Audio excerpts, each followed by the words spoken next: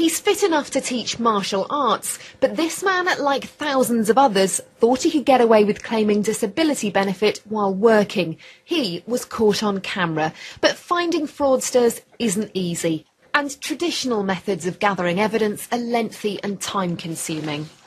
We are successful in using that information and prosecuting and bringing people to book, but there's a long process behind that.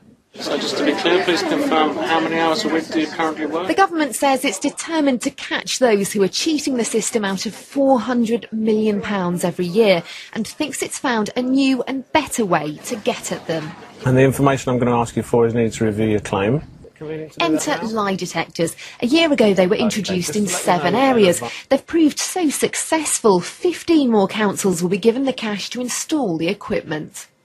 This is how the lie detector works. It records the conversation and then flashes a warning up on screen if there's a significant change in the sound of the voice. Now, at the same time, operators are also making notes on whether that person is hesitating in coming up with answers or whether they sound tongue tied or nervous.